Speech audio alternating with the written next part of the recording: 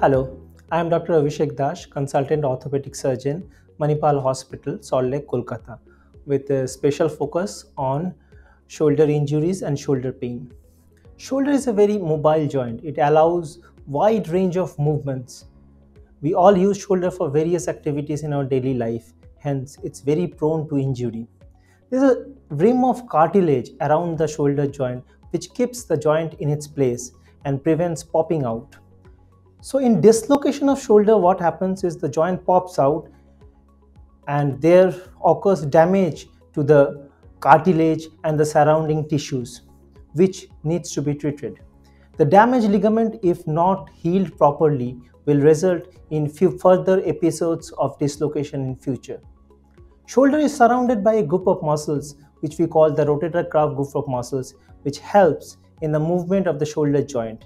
During sports, or lifting weight in unaccustomed posture, the rotator cuff group of muscles may be injured.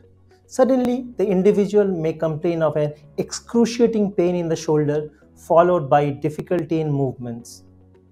If the pain is not reduced by local ice application and a brief period of rest, proper assessment should be done to rule out any ligament tear. In elderly individuals, due to the degenerative process, the wear and tear makes the rotator cuff very weak. So, in repetitive activities and work, rotator cuff may develop small tear which may progress with time. The individual will typically complain of pain in the shoulder joint and difficulty in movements. The pain is worse at night. If the person sleeps on the affected shoulder, he or she will wake up in the morning with a very sore shoulder and difficulty in movements. Initially, local ice packs in the shoulder should be applied along with pain relieving medications for a short duration. If, in spite of that, the pain persists, a specialist should be consulted.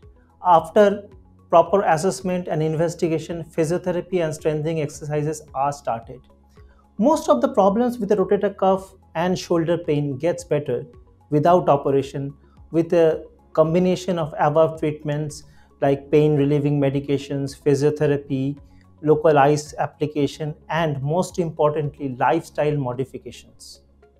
But in a small subset of patients, when the pain doesn't get better with these medications, or there is a progressive increase of pain with difficulty in movement of the limb and it is affecting the daily life of an individual, most likely he or she will require an operative intervention to repair the tear. Most of the ligament tear in the shoulder can now be treated with a minimally invasive or an arthroscopic procedure.